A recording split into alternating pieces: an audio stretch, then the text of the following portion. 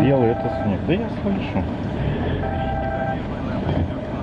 Петербурге из-за непогоды, которая сегодня обрушилась на город в результате ливня, оказались затоплены северные районы Петербурга, где автомобилисты были вынуждены добираться практически вплавь. Примерно Наблюдалась на пересечении Коломежского и Светлановского проспектов, сообщает Фонтан Каруш. Возле станции метро «Старая деревня» что. из ливневой канализации да. забили фонтаны воды. Кроме того, в Приморском районе выросли небольшие сугробы из выпавшего Вы по града. поводу чего Мы лечим диких можно животных. подумать, что Петербург.